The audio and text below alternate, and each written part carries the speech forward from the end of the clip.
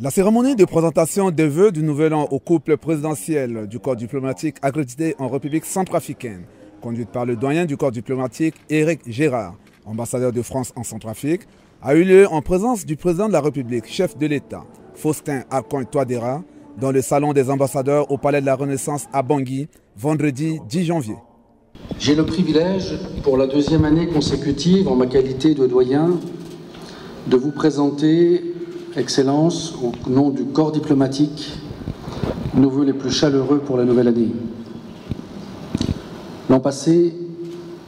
j'avais tenu à souligner l'engagement et l'authenticité de mes collègues que je côtoyais alors depuis quelques mois. Des professionnels, des femmes et des hommes de cœur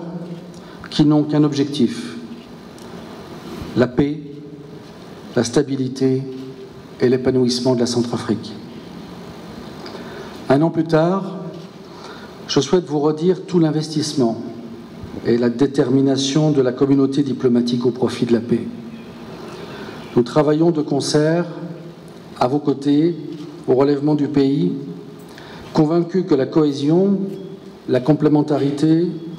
la transparence et la, détermination sont des leviers puissants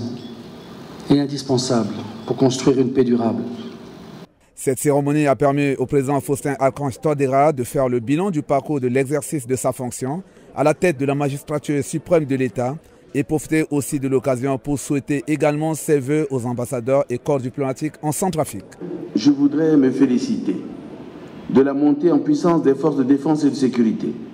à travers la formation des policiers et gendarmes, grâce à l'appui constant de la MINUSCA, à l'encadrement au maniement des armes des FACA,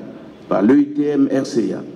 avec l'appui de l'Union européenne et par des instructions de la Fédération de Russie, ainsi que le recrutement de 1300 nouveaux éléments dans les FACA. Ces avancées ont permis le déploiement progressif des forces de défense et de sécurité intérieure, la poursuite du grand programme national de DDRR et la mise en place de la première unité spéciale mixte de sécurité à l'ouest. Selon le président Faustin Archange Touadéra, plusieurs défis restent à relever. Croyez-moi, mesdames et messieurs, je mettrai tout en œuvre pour que les élections à venir soient crédibles, libres, inclusives et transparentes sur toute l'étendue du territoire national et confirmer l'ancrage démocratique amorcé en 2016. La traditionnelle cérémonie de souhait des vœux a débuté hier avec les forces vives de la nation, les membres du gouvernement et les différentes institutions.